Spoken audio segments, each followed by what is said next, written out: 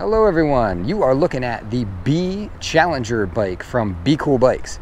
And we're gonna do a range test on this bike today because I am very curious how far this thing is gonna go under throttle power only. It's not really a bike that's set up to pedal a whole lot. You're gonna ride this pretty much just using the throttle, like a motorcycle, I think.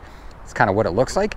And it has an enormous battery pack in his, inside this fake gas tank. It's just a plastic tank. It's non-removable, you can't take the battery off, but it is huge. It's a 30 amp hour battery pack on there, which is the largest battery I've ever had on any e-bike ever. And we're gonna find out how far it'll go under its own power. I'm not gonna pedal this thing at all. That's how I do the range test. You know, throttle only, no pedaling. So we'll see how far it gets. Uh, a couple quick stats. I weigh about 180 pounds. This bike weighs 98 pounds on my scale anyway. So it's almost a 100 pound e-bike. This is a very heavy bike. That's gonna factor in, I'm sure. I've got the tire pressure set at like 22. Uh, we're gonna do a mixture of flats, hills, inclines, you know, some varied terrain, but mostly pavement. I'm gonna keep it on the pavement. I'm not really gonna take it off road. And we'll see how far it goes without pedaling it. I, uh, I've got 2.4 miles on it already, and actually it shut off, so let me turn it back on. There we go, turn it back on. And I've got my phone GPS running as well to keep track of the mileage so we can compare and see how far it's off. I've already noticed it's a little bit off even after two miles, so it's gonna be kind of a discrepancy there between my phone GPS and the odometer on the screen, I think. So we'll just kind of blend them, I guess, maybe, and get the the total distance. I, I'm, I don't know, man. I don't know where to guess this one. It's it's such a heavy bike. So this is a 30 amp battery. So I'm gonna guess this is going over 50 miles. Is gonna be my guess. I don't even know where to put it. But it's gonna be up there. I'm probably gonna end up doing this over a couple of days because I just don't have time to ride this for four hours one one shot. Let's get this underway and see how far we get. I will check back in when we hit some kind of milestone here. This doesn't really have battery bars. It just has a, you know, a long indicator on the side here. So I'm not gonna really have segments to count as it goes down. I'm just gonna have to watch it. But we'll see. So I'll check back in soon. So the Challenger is a really comfortable bike to ride anyway, I'll tell you that. It's got full suspension and these you know, high handlebars that come back to you. So it's really like a cruiser motorcycle. I feel like I'm riding a, a, miniature cruiser motorcycle when I ride this thing. But we're gonna go out here to our range test area where we can just hold the throttle wide open and uh, try to burn through some battery as quick as we can. I'm in pedal assist zero. Uh, it, the throttle works no matter what pedal assist level you're in. So I'm just gonna keep it at zero. I'm not gonna pedal anyway, so just lay down some miles. 31 miles an hour, 32. I don't know if that's right or not. It doesn't feel that fast.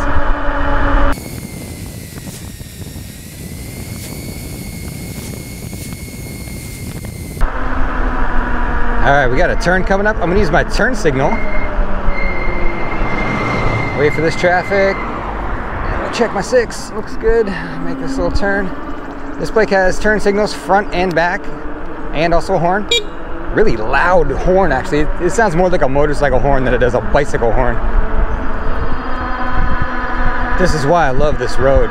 It's just three, three and a half miles straight of just holding this throttle wide open. This is great for range tests. I could just max throttle, down and back, down and back. You know, I, I log like 12 miles just riding this road back and forth.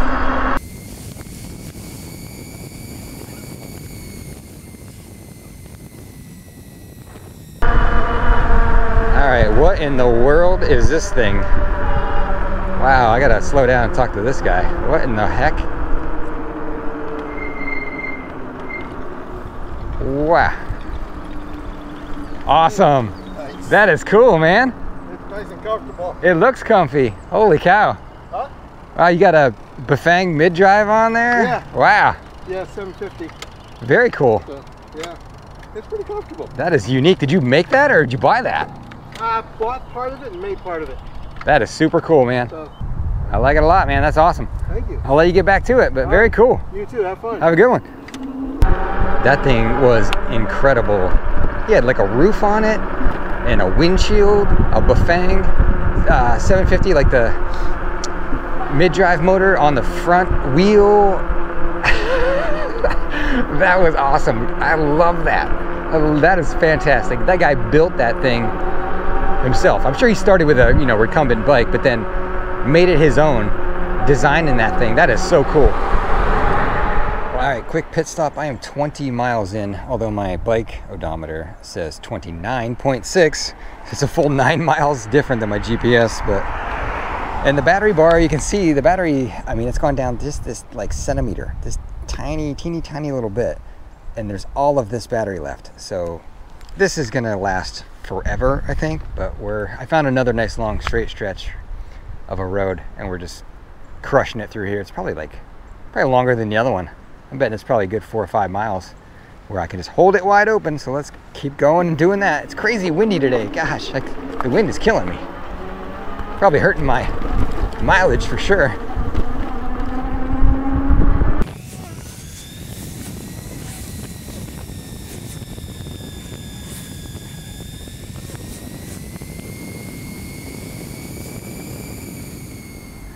Okay, we're still going. I took a nice long pit stop at home for lunch and to take a, a, quick break.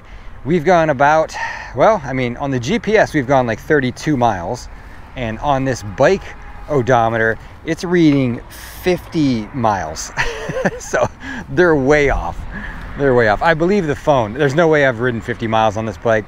Um, definitely 30 miles is where we're at currently. And it's still showing like half battery which I'm surprised because it's got to be less than half at this point, and it's saying 45.9 volts. I don't know where the low voltage cutoff is, but we're at 45.9 right now as it sits there. Um, I still think it's going to get close to 50. I don't know if it'll get there or not. We're going to find out. That's why we do this. So let's keep trucking along here. I will. Um, I'll try to report back when I've gotten, I think, near the end I don't like to drag these videos out too long. This takes forever. This takes hours. I've been out here for like over two hours total riding this thing. It's gonna take a long time to kill these giant batteries like this. 30 amp hour battery, that's pretty crazy. But I mean, it's still got the same amount of power in the throttle right now. It'll still go up to, you know, like 27 miles an hour if you're on level ground. And uh, it, it struggles a little more on the hill just because it's a heavy bike, man. This is like almost a 100 pound bike. But it's been comfortable to ride, so I will let you know once we get close to the end. All right, the battery's really kind of started dropping on me. So when I give it full throttle and start going for a while, it drops down into the red. Right now it's showing green. When you put it under stress, it drops to a red color, goes down a little further. And I've seen the voltage drop to like 20, or not 20, uh, 42, 42. So I think we're getting close. I'm heading towards home because I do not want to get stranded far from home on this thing. It's hard to pedal and it is a hundred pound bike. So we're gonna stick close to home from here on out and uh, get this down to where there's no usable power. And we'll see what that final number is. I don't even know what I'm at right now. I have to pull up my phone to look, but it's certainly not, it says 59 miles on the screen. That's not even close. Uh, I must have the wheel setting off or something. It's just so, so far off. But I thought I was set right in there. I'll have to look and see. Okay, we have reached the end. It just, uh, no warning, just cut out on me. It was the same way on the Bee Explorer bike when I got to the end. There was no slow die off. It's just you have full power and then boom, done. That's what happened here. I was going up this hill and it just shut off completely. So I must have hit that low voltage cutoff level or something. So no power, we're out of power, and we went I just checked my phone GPS and the good old Challenger bike from Bee Cool made it 42 miles. So that's what I got throttle only out of this bike. 42 miles. The, uh, the Explorer bike got, I think 41 and it had a much smaller battery on it. It was a 20 amp hour battery. This is a 30 and it went pretty much the same. So I'm gonna guess that that's probably due to the weight. This is a much heavier bike, like 30 pounds heavier bike. So I guess that factors in because everything else felt the same. I mean, it's the same motor, same power delivery on the bike, and it even has a bigger battery. So I'm guessing it's the weight that factors in, and that's why it went about equivalent, about 42 miles, which is still insane. I mean, no pedaling at all, 42 miles I rode this thing. It feels basically like a low powered motorcycle when you're riding it around. and everyone was looking at me. Everybody I drove past took a second glance at this thing because it's uh, it's something unique that you've never seen before. I think right now this this might be the only Challenger in the U.S. right now, so it is definitely something people have not seen before. It's a cool little bike. I will make this suggestion though, if you're looking at the Challenger bike and you're saying, what do I buy? Because they're going to offer this in a 750 and also a 1000 watt motor, and you say, which one do I buy? I would tell you to spring for the 1000 watt. You're probably going to want it. If you're buying this style of, of bike, you're probably going to want that extra power. I've never been on a Bee Cool 1000 watt bike, so I don't know how much different it is, how much more power there would be for acceleration or hills. I would imagine there's more. So I would say if you got the extra cash, you might you might want to spring for that. Very very good range out of it. I gotta give it that. I mean, four, over 40 miles the screen it cut out on me so I won't be able to see until I charge it back up. But I think it was it was saying like 65 it was way off. I gotta check the settings. The wheel setting must have been off. Throwing that way off. But the GPS which doesn't usually lie said 42 so there you go. Luckily I finished uh, I've just been cruising around my neighborhood here. So I'm only I don't know probably a half a mile from home. And thank goodness because this thing this is gonna be fun to pedal home. I'm gonna, you just don't have the angle, you know, to input in the pedals a lot on this. You're, you sit, your butt's way down low and your knees come up way high. So we're, uh, we're gonna make it home under citizen power.